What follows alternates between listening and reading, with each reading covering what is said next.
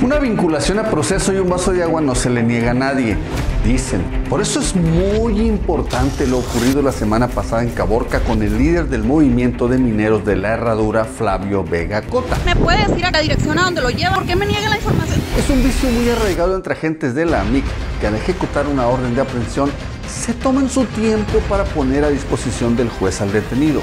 En el caso de Flavio lo detuvieron a las 13.30 horas y lo pusieron ante el juez a las 22.35, lo cual violó el debido proceso y por eso el juez René Gaspar Álvarez Valenzuela ordenó su libertad inmediata, lo cual no es para nada común.